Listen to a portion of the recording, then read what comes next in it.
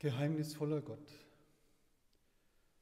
wir stehen vor dem Kreuz deines Sohnes und denken an das Leid der Welt, das uns gerade in der Zeit der Corona-Pandemie sehr betroffen macht.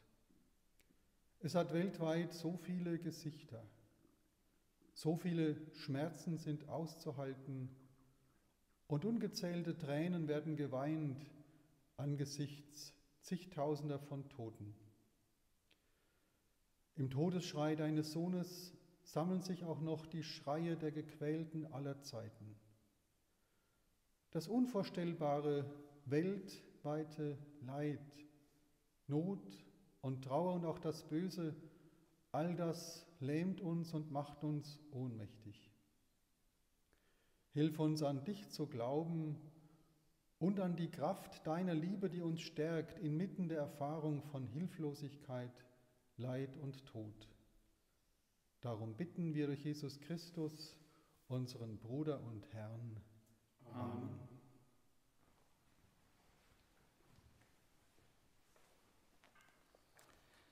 Christus Sieger, Christus König, Christus Herr in Ewigkeit.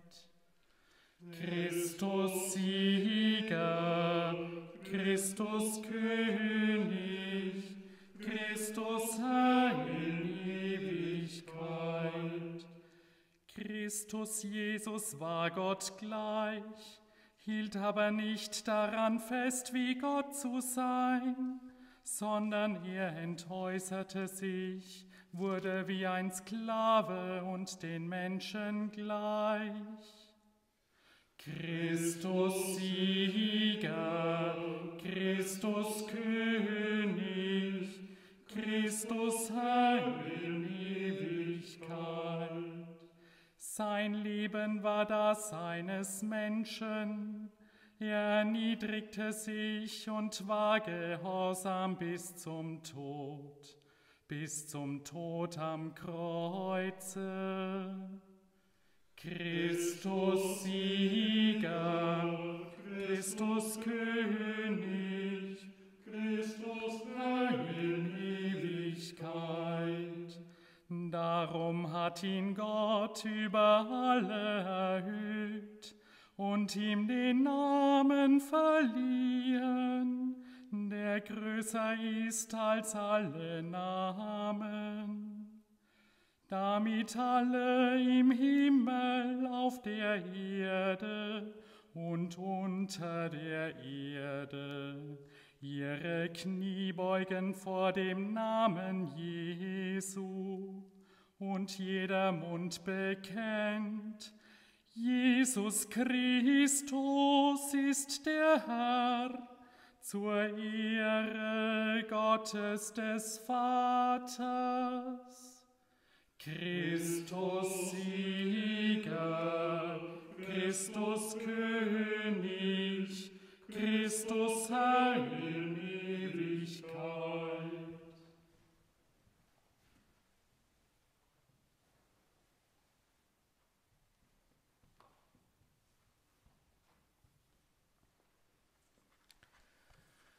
Wir hören das Leiden unseres Herrn Jesus Christus nach Johannes. Jesus ging mit seinen Jüngern hinaus auf die andere Seite des Baches Kidron. Dort war ein Garten, in den ging er mit seinen Jüngern hinein.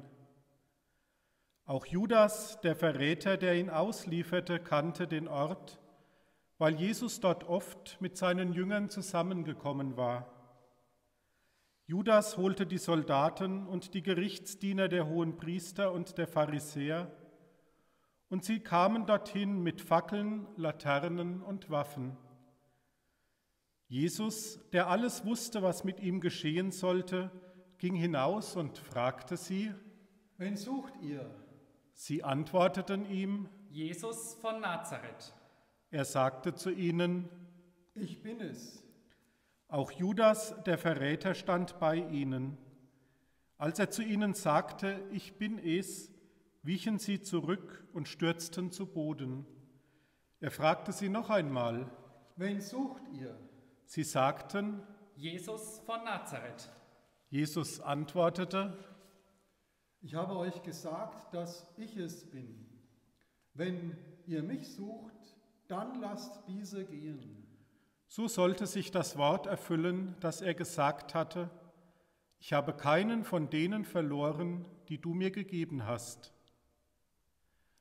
Simon Petrus aber, der ein Schwert bei sich hatte, zog es, schlug nach dem Diener des hohen Priesters und hieb ihm das rechte Ohr ab.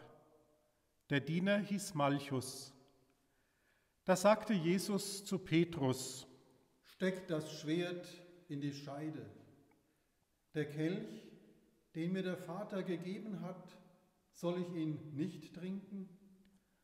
Die Soldaten, ihre Befehlshaber und die Gerichtsdiener der Juden nahmen Jesus fest, fesselten ihn und führten ihn zuerst zu Hannas.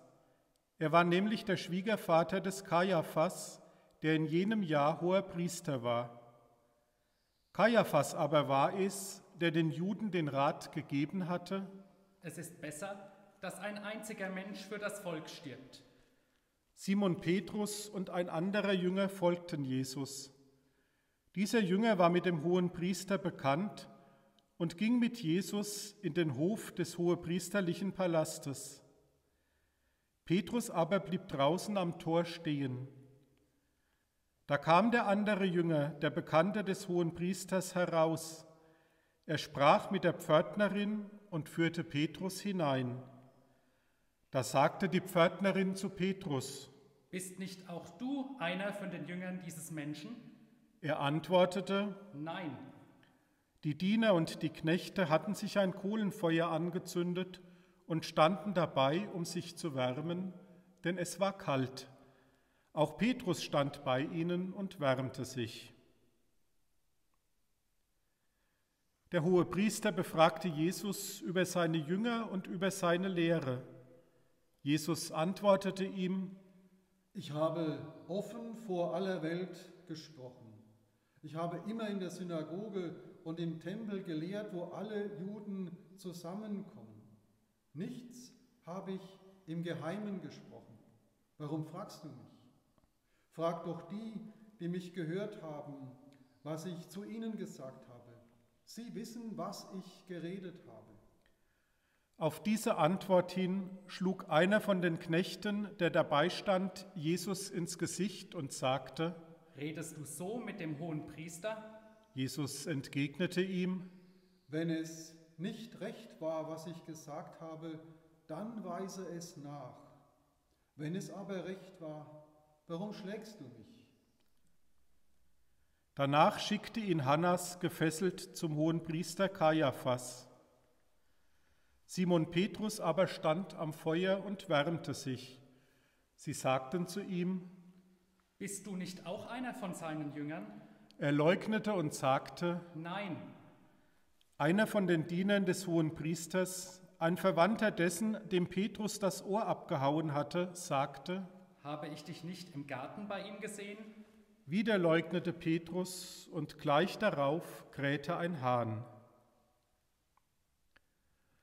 Von Kaiaphas brachten sie Jesus zum Prätorium. Es war früh am Morgen. Sie selbst gingen nicht in das Gebäude hinein, um nicht unrein zu werden, sondern das Paschalamm essen zu können.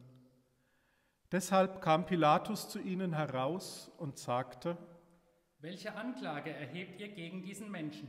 sie antworteten ihm, Wenn er kein Übeltäter wäre, hätten wir ihn dir nicht ausgeliefert. Pilatus sagte zu ihnen, Nehmt ihr ihn doch und richtet ihn nach eurem Gesetz.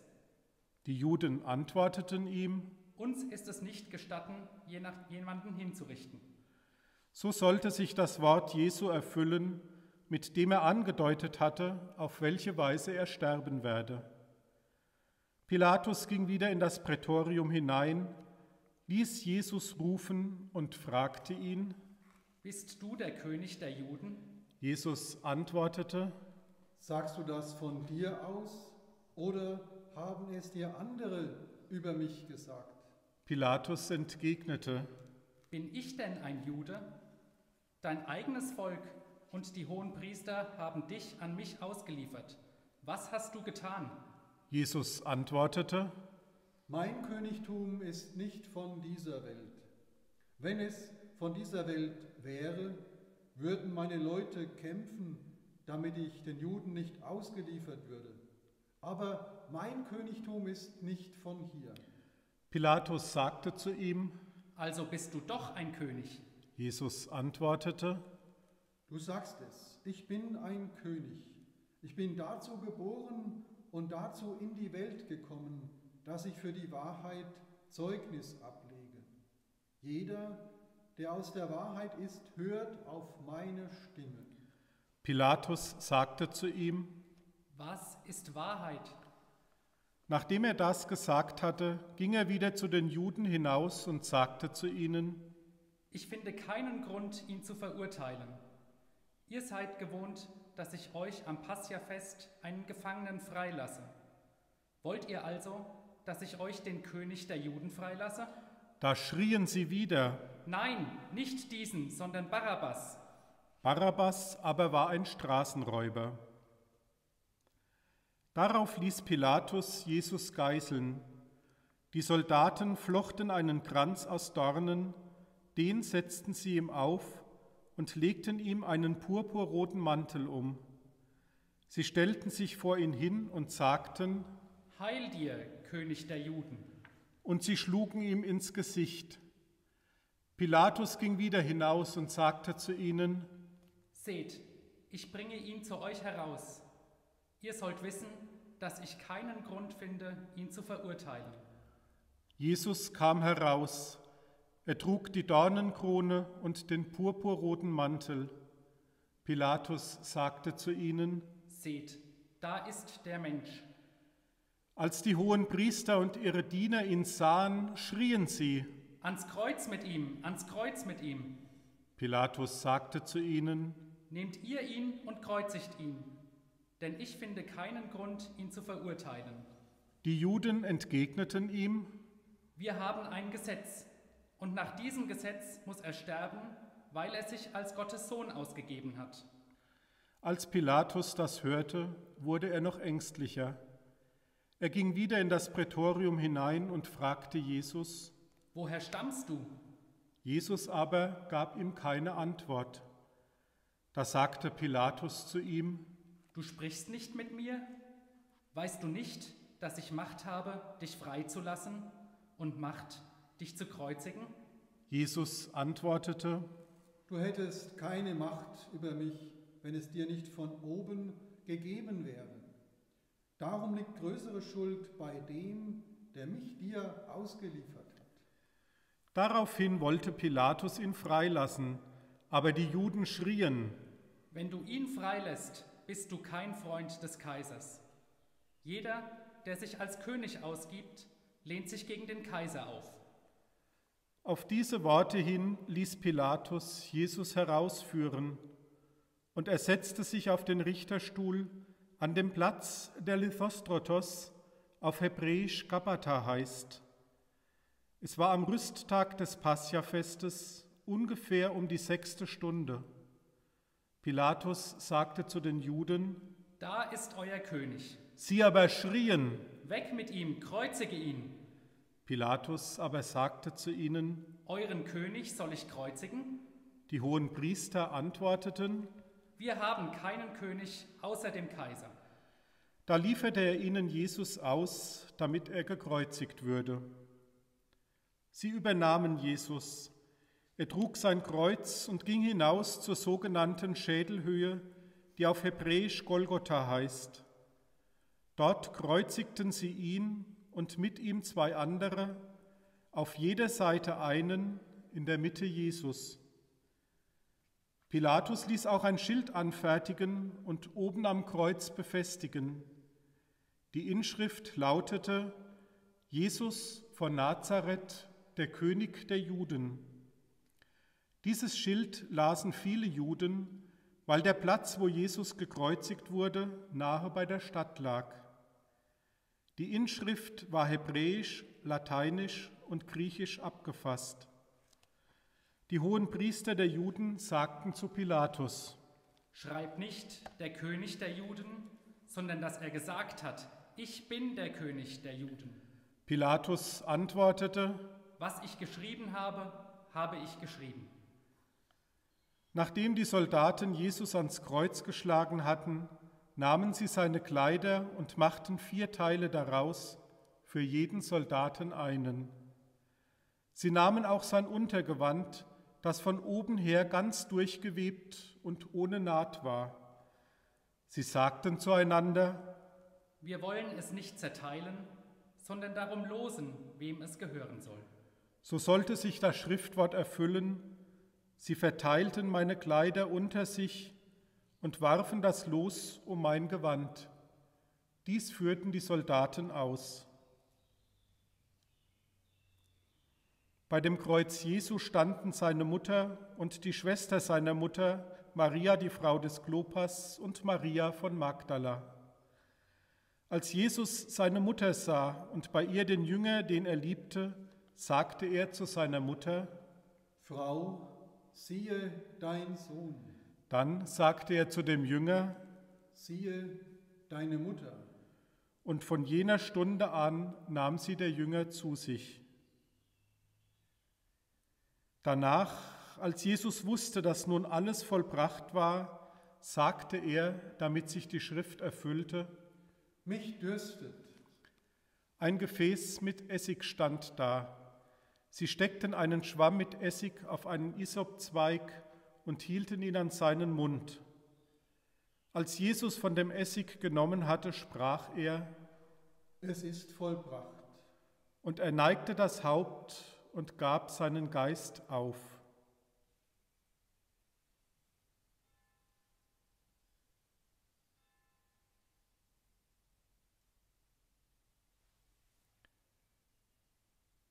Weil Rüsttag war und die Körper während des Sabbats nicht am Kreuz bleiben sollten, baten die Juden Pilatus, man möge den Gekreuzigten die Beine zerschlagen und ihre Leichen dann abnehmen. Denn dieser Sabbat war ein großer Feiertag. Also kamen die Soldaten und zerschlugen dem ersten die Beine, dann dem anderen, der mit ihm gekreuzigt worden war. Als sie aber zu Jesus kamen und sahen, dass er schon tot war, zerschlugen sie ihm die Beine nicht, sondern einer der Soldaten stieß mit der Lanze in seine Seite, und sogleich floss Blut und Wasser heraus. Und der, der es gesehen hat, hat es bezeugt, und sein Zeugnis ist wahr, und er weiß, dass er Wahres berichtet, damit auch ihr glaubt. Denn das ist geschehen, damit sich das Schriftwort erfüllte, man soll an ihm kein Gebein zerbrechen. Und ein anderes Schriftwort sagt, sie werden auf den blicken, den sie durchbohrt haben. Josef von Arimathea war ein Jünger Jesu, aber aus Furcht vor den Juden nur heimlich. Er bat Pilatus, den Leichnam Jesu abnehmen zu dürfen, und Pilatus erlaubte es. Also kam er und nahm den Leichnam ab. Es kam auch Nikodemus, der früher einmal Jesus bei Nacht aufgesucht hatte. Er brachte eine Mischung aus Myrrhe und Aloe, etwa 100 Pfund. Sie nahmen den Leichnam Jesu und umwickelten ihn mit Leinenbinden, zusammen mit den wohlriechenden Salben, wie es beim jüdischen Begräbnis Sitte ist. An dem Ort, wo man ihn gekreuzigt hatte, war ein Garten, und in dem Garten war ein neues Grab, in dem noch niemand bestattet worden war. Wegen des Rüsttages der Juden und weil das Grab in der Nähe lag, setzten sie Jesus dort bei.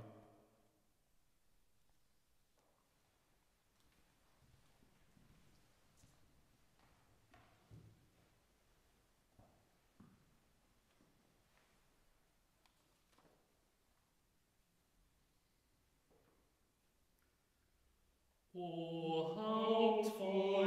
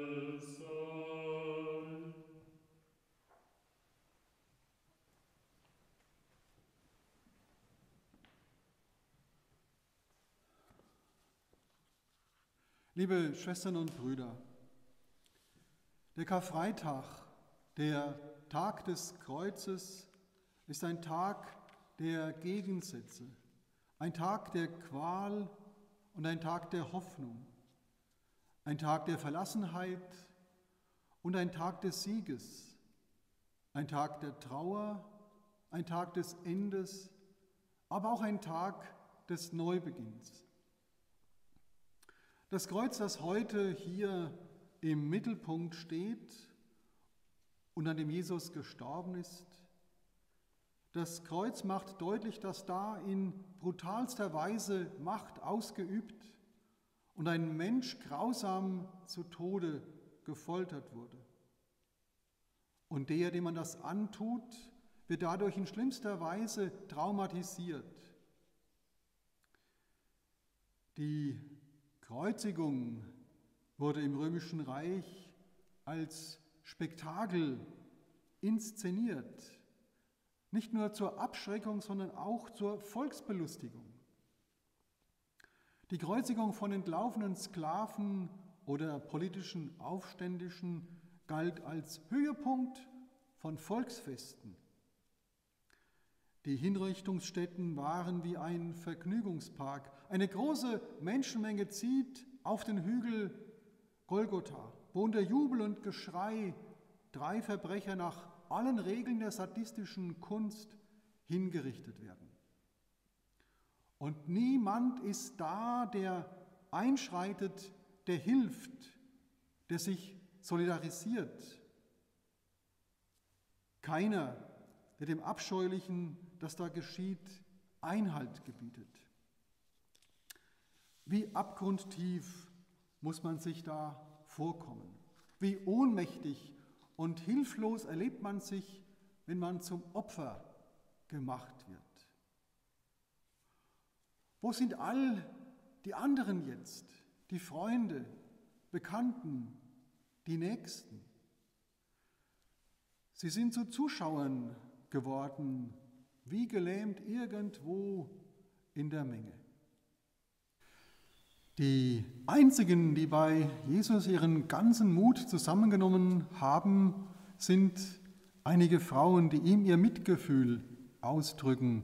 Und es war damals nicht ungefährlich, denn wenn einer zur Kreuzigung geführt wurde, war es ein Verstoß gegen das Gesetz, wenn man dem Verurteilten gegenüber freundliche Gefühle gezeigt hat.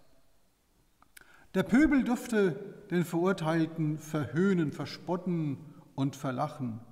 Aber es war nicht erlaubt, irgendwelche Sympathie für ihn auszudrücken. Die Ohnmacht des Opfers wächst dadurch ins Unermessliche. Alles, was einem dann an Grausamkeiten angetan wird, verknüpft sich mit dem Gefühl von grenzenloser Scham oder Beschämung. Wer am Kreuz hängt, begafft und schadenfroh verhöhnt wird, hat den letzten Rest an Menschenwürde oder Selbstkontrolle verloren. Es ist die absolute Demütigung. Ecce homo, seht doch, was für ein lächerlicher Mensch. Davon redet der Psalm 22, den man dem sterbenden Jesus in den Mund gelegt hat. Da heißt es, ich aber bin ein Wurm und kein Mensch, der Leute Spott vom Volk verachtet. Alle, die mich sehen, verlachen mich, verziehen die Lippen, schütteln den Kopf. Obwohl Jesus nichts Böses getan hat, das eine so furchtbare Strafe gerechtfertigt hätte, ist er wie ein Schwerverbrecher gestorben.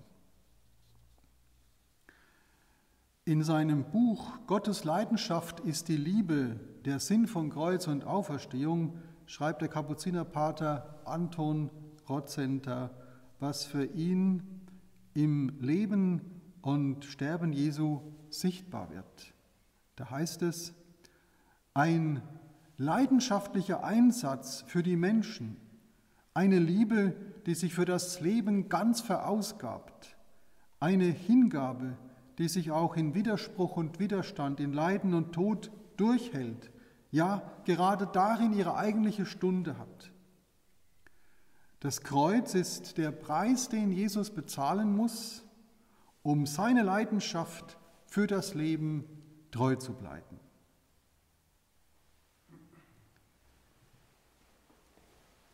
Wenn wir nun das Kreuz enthüllen, das Tuch Stück für Stück vom Kreuz nehmen, sehen wir die Folterspuren, ein Haupt voll Blut und Wunden, aufgerissenes Fleisch, verkrustetes Blut, einen geschundenen Körper. Wir schauen auf ein gotterbärmliches Gewaltopfer. Lassen wir diesen Blick zu und die Gefühle, die in uns aufsteigen. Nur so werden wir fähig zum Mitleiden, zur Kompassion mit der Passion Jesu und der von anderen Menschen, die gerade in dieser Zeit Leid und Tod erfahren.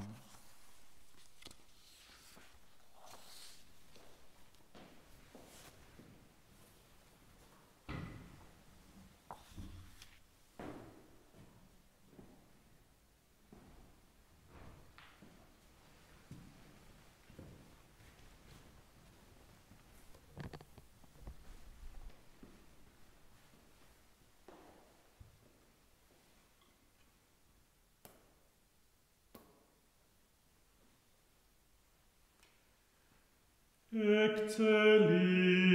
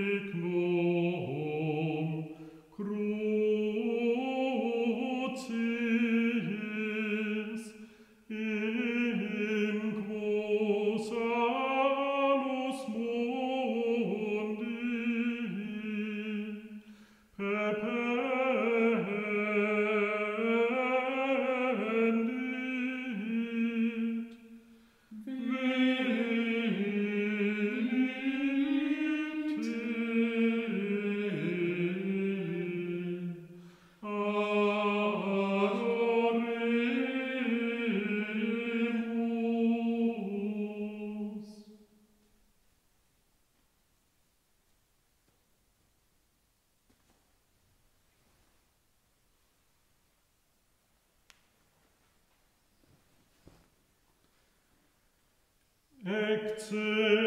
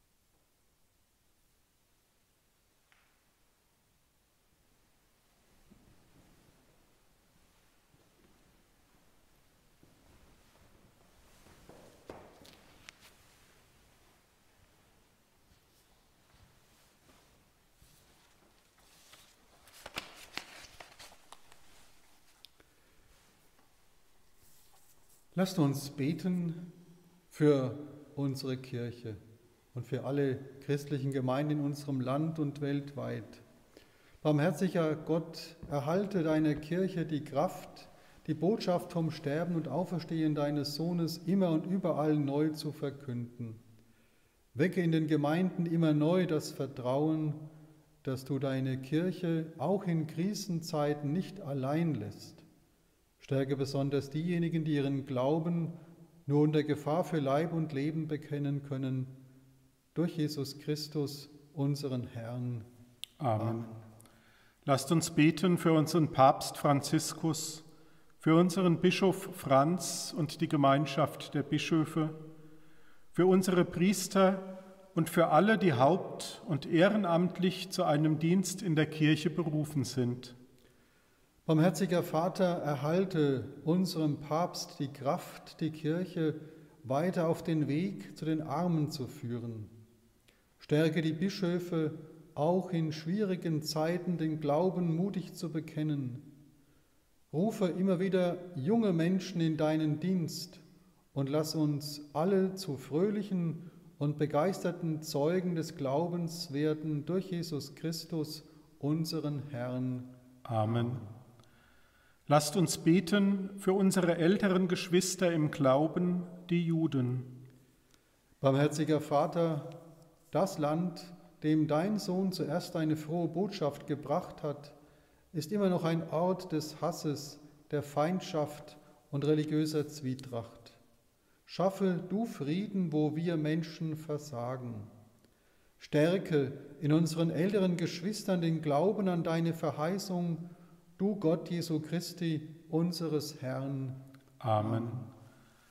Lasst uns beten für alle Menschen, die von Unsicherheit und Zweifeln getroffen sind, für alle, denen das Nötigste zum Leben fehlt, wie den vielen Flüchtlingen weltweit, für die, die ihren Glauben an die Menschheit verloren haben, weil sie so oft enttäuscht worden sind. Barmherziger Vater, du lässt keinen von uns verloren gehen. Lass uns erfahren, dass du der Gott der Lebendigen bist und dass du das Glück der Menschen willst. Gib uns allen die Kraft, das zu zeigen durch Jesus Christus, unseren Herrn. Amen. Lasst uns auch beten für alle Menschen, die in diesen Wochen schwer erkrankt sind, für alle, die in Angst leben und füreinander Sorge tragen. Für alle, die sich in Medizin und Pflege um kranke Menschen kümmern, für die Forschenden, die nach Schutz und Heilmitteln suchen. Und für alle, die Entscheidungen treffen müssen und im Einsatz sind für die Gesellschaft, aber auch für die vielen, die der Tod aus dem Leben gerissen hat.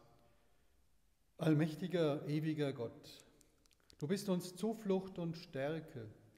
Viele Generationen haben dich als mächtig erfahren, als Helfer in allen Nöten. Steh allen bei, die von dieser Krise betroffen sind und stärke in uns den Glauben, dass du alle Menschen in deinen guten Händen hältst.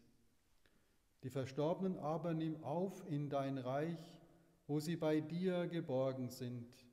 Darum bitten wir durch Jesus Christus, unseren Herrn. Amen. Amen. Diese Bitten mit den unterschiedlichsten Anliegen, die wir jetzt gerade ausgesprochen haben, dürfen wir hineinnehmen und zusammenfassen in das Gebet, das Jesus uns zu beten gelehrt hat. Vater unser im Himmel, geheiligt werde dein Name, dein Reich komme, dein Wille geschehe, wie im Himmel so auf Erden. Unser tägliches Brot gib uns heute und vergib uns unsere Schuld, wie auch wir vergeben unseren Schuldigern. Und führe uns nicht in Versuchung, sondern erlöse uns von dem Bösen, denn dein ist das Reich und die Kraft und die Herrlichkeit in Ewigkeit. Amen.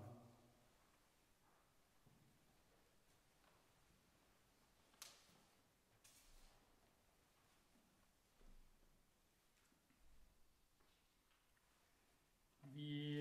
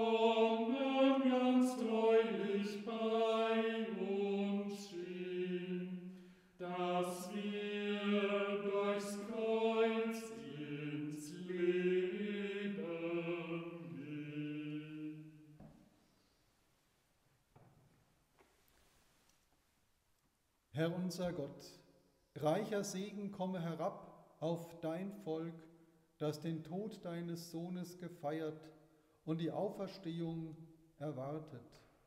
Schenke ihm Verzeihung und Trost, vertieftes und nachhaltiges Wachstum im Glauben und die ewige Erlösung. Darum bitten wir durch Jesus Christus, unseren Herrn.